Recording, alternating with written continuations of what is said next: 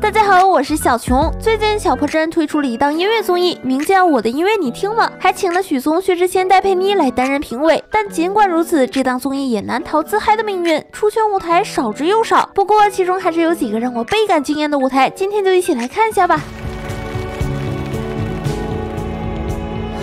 我觉得你把你的态度和你的经历和你那些状态全写在里面了，真棒，真棒！你真的叫逆袭。我现在有点哽咽，嗓子有点卡住了。你诠释的，你想要表达的太有共感了，所以我抱歉哈，哭成这样。如果说这个综艺最大的黑马，我首推就是李阳星。他来参加节目的全过程简直就是一篇逆袭爽文。初赛表现垫底，选搭档满场都没人愿意选他，和难兄难弟合唱恋曲一九九零。出色的舞台表现让李阳星第一次入了导师的法眼，而最新一期节目里，他的超强原创有谱一出，更是直接唱哭所有的导师，成为了节目开播以来唯一一个满分选手，真应了那句歌词儿：往往逆风开局才是男主啊！第一虽然是倒数，往往逆风开局才是男主。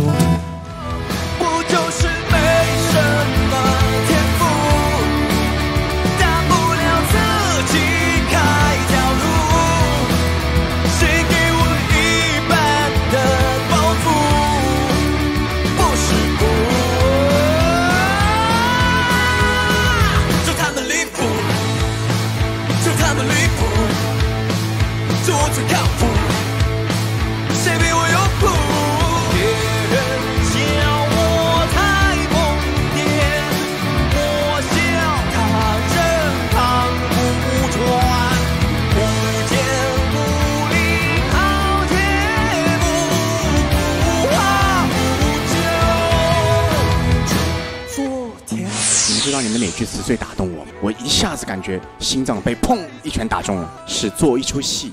做一出我一定想。我说最喜欢的一个舞台就是这首由于子君、张紫薇组合演唱的戏歌。一开始看他们搞得玄乎愣登，觉得华而不实。这首歌乍一听好像也有点曲高和寡，不知所云。但是当张紫薇敲响手里的唱钵，就直接开大，把台下观众都唱哭了。听完这首歌，我脑袋里至少过了几十部武侠剧，满级大号屠杀新手村，简直。这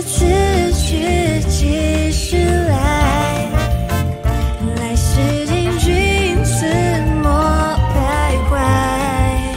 由聂杰明和于一凡改编合唱的《送别》，观众老爷们觉得好听吗？最近他们可是引起了不小的争议。《送别》是一首名曲，流传至今已经一百多年了。原曲表达的是辞别故人的哀伤，而经过改编的版本却多了几分活泼和轻松，这也引起了观众们不小的节目。虽然音乐风格多种多样，但普遍来说都比较小众，看起来高端大气，但其实很难引起共鸣。其中确实也不乏一些惊艳的舞台。总的来说，还是一个比较良心的综艺。好啦，今天的节目就到。这里，我们下期再见，拜拜。